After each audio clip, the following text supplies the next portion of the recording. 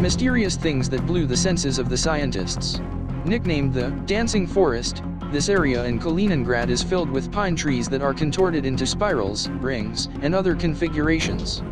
They were planted in the 1960s and are the only tree species to ever do this.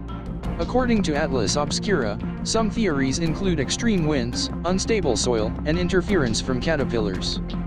Dark matter isn't like regular matter, and we don't understand much about it. Matter is made of protons, neutrons, and electrons, but dark matter's makeup is still a mystery. One theory is that dark matter is made of particles that we simply haven't detected or identified. A 2016 study suggested dark matter might be made of primordial black holes. Dark matter doesn't reflect or emit light, but high concentrations of the substance can bend light, which is how scientists know that it exists. Assuming our knowledge of the universe and physics is correct, there is more dark matter than matter in existence. Dark matter, in fact, seems to be required for gravitational pulls to be strong enough to create planets and galaxies. Scientists understand how cats purr, but they're still not sure why they do. For a long time, cats' purring mechanisms were an unsolved mystery. According to the BBC, it's now widely thought that the muscles around the feline larynx constrict, creating a vibration that makes the classic purring sound. But the reason cats purr at all is still debated. One hypothesis is that purring promotes bone growth because the vibration frequency leads bones to harden in response to the pressure.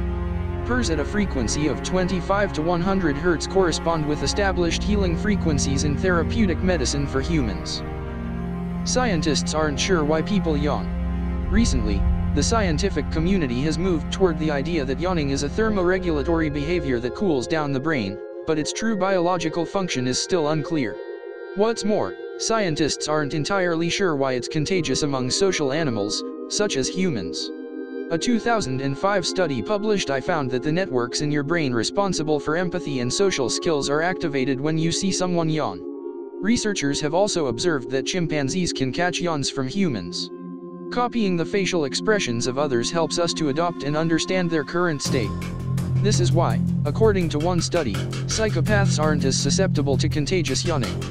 Humpback whales have gone from being solitary creatures to living in supergroups, a shift marine biologists are still trying to suss out. Humpback whales are ordinarily solitary, but they have begun to feed in packs of 20 to 200 off the coast of South Africa over the past several years.